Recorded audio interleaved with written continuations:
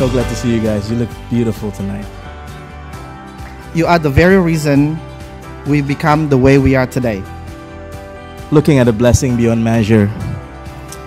An explosion of dream burst into reality. A dream come true.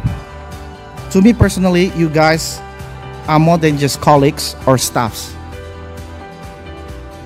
You are my family.